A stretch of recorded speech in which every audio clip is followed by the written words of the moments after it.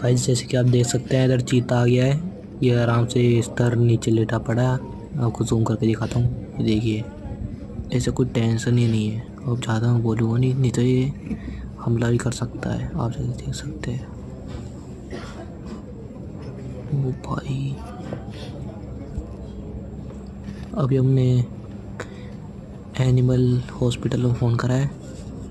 देखते हैं वो आएँगे।